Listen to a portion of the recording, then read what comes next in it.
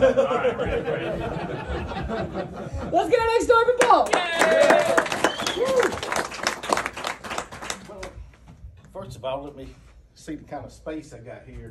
For safety's sake, I need you guys to stay put. Oh. I need you to stay put. Oh. I need the front row to stay put. All right. I'll explain here in a minute. So, basically, I want to talk a little bit about. I want to talk a little bit about um, the changes I've seen in school, or the changes I've seen from my grandchildren and children that's in school compared to when I went to school. So, when I went to school, every young man and some of the young ladies carried a pocket knife.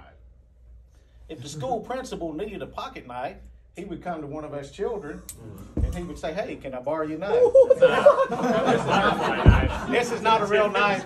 This is for flipping. It's to learn how to flip a uh-huh. butterfly knife without actually That's chopping. not less weird, Paul. without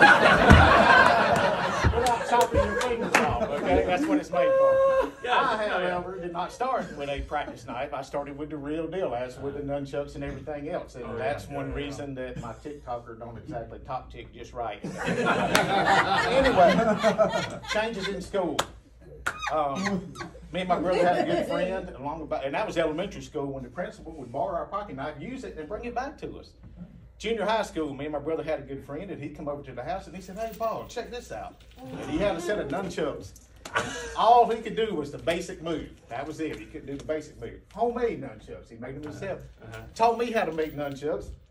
And I only not made some. I fell in love with them, and I would get out in the yard every single day after my schoolwork was done, and I would learn how to flip my nunchucks. And I said, you know what? The basic move's cool, but what if I put a spin on it? What if I put a couple of spins on it? And some figure eights and some between the legs stuff. And whatever I practiced with my right side, I made sure I practiced with my left. That way, when I got ready to kick it up, I could really let them fly. Uh-oh. I got tangled up there. Yeah. Let's try that again. Something like that. Without really hurting